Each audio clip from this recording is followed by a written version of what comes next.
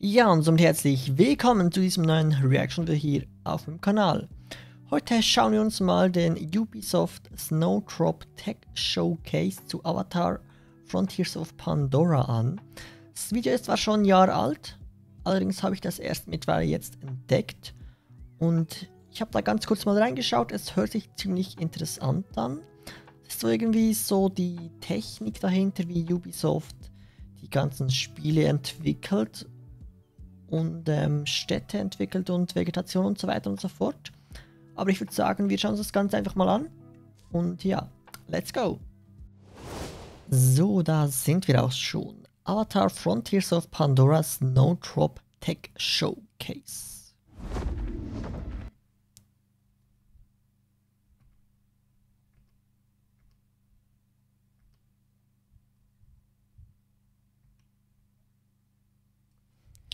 So, da sind, so, da sind wir auch schon. So, Avatar Frontiers of Pandora Snowdrop Tech Showcase. Ich habe von dem System noch nie gehört, aber es James hört Cameron and his team at Lightstone brought to life is epic in so many ways. It's brimming with life, it's bioluminescent at night, and it's majestic in scale as it is rich in details.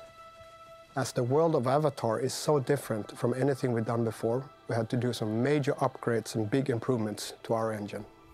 In the past, Snowdrop allowed us to build amazing cities, but to capture the natural beauty of Pandora, we needed to push Snowdrop even further. We have created the Pandora Spielst that you can halt experience from the deep, dense jungles on the ground to the grand vistas high up in the skies. So with Snowdrop, using the microdetail system, we can propagate thousands of assets in one frame. This allows us to have a lot more highly detailed environment for Pandora. For the game, we created a varied amount of vegetation using automated placement, and this is significantly more objects than we ever had before. So by moving visibility testing to the GPU, we can now process way more objects per frame. So the advantage of Snowdrop is that it can handle quite complex shaders. To add more life to the vegetation of Pandora, we created many sieht interactive gut shaders that can be affected by the player, from real-time wind simulations and interactions to intelligent plants reacting to your presence. We don't just explore jungles on the ground, we also get to fly our banshee. So we added a new volumetric cloud system in Snowdrop to improve the visual quality of our sky.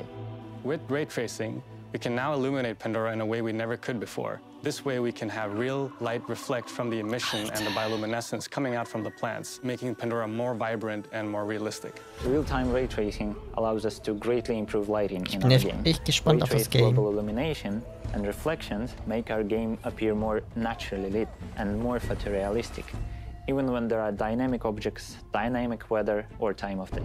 The different activities that NPCs can perform in the world and the different animations they have can make the world feel really alive. So for Avatar, Frontiers of Pandora, we wanted to take this one step further and created a system where our NPCs understand the state of the world. For example, weather, player progression, or time of day. The teams at Ubisoft have done a fantastic job improving Snowdrop.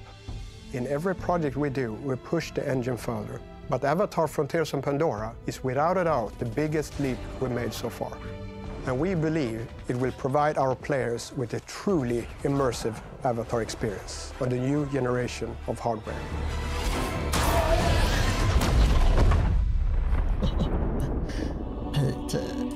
Das sah mega gut aus und das schon 2022.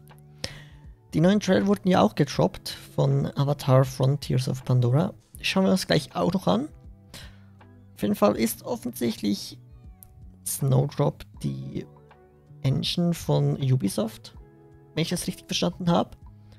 Und damit wird dann wohl auch ähm, Assassin's Creed Mirage gemacht. Gehe ich mal davon aus. Und ja, es sah einfach mega gut aus. Die Vegetation sah mega gut aus. Alright, ich würde sagen, wir gehen gleich weiter zu den Trailern. Aber das seht ihr dann in einem anderen Video.